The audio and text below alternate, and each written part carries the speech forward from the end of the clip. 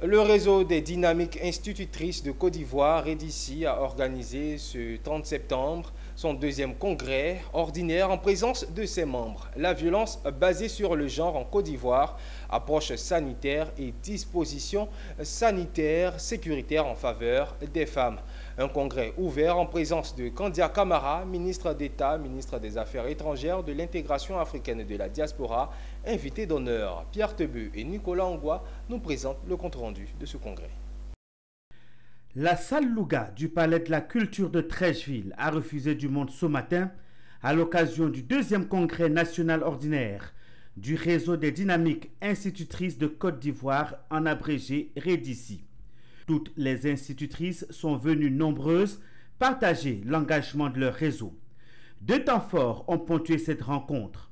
L'investiture du nouveau bureau du REDICI et les panels qui ont fait interagir les panélistes et les membres du réseau. Ce deuxième congrès a vu l'investiture de la nouvelle présidente réélue du REDICI et de tout son bureau. Emanadej Sepi Diabagaté, nouvellement investi, a présenté les orientations de ses actions à poursuivre la lutte aux côtés de ses sœurs du réseau.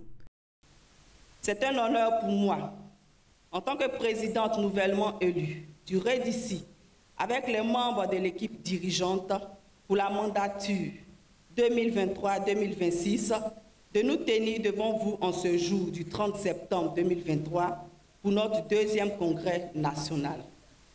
Je suis consciente que cette confiance que vous renouvelez est une responsabilité des plus importantes.